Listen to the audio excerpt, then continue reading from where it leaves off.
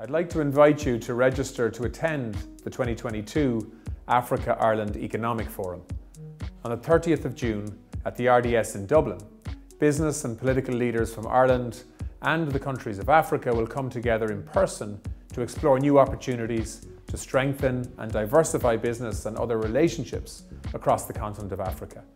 At the forum, business and thought leaders will exchange views and ideas including on how we can increase trade and investment between Ireland and Africa in both directions. We'll look in detail at topics including regional trade, green growth in, in agriculture, food and energy sectors, women's economic empowerment, and how technology, innovation and entrepreneurship are being leveraged for Africa's growth.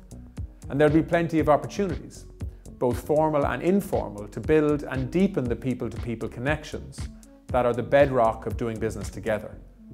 Whether you already have experience of doing business with Africa or you are interested in exploring the potential of African markets and Irish-African partnerships, we want to see you on June 30th.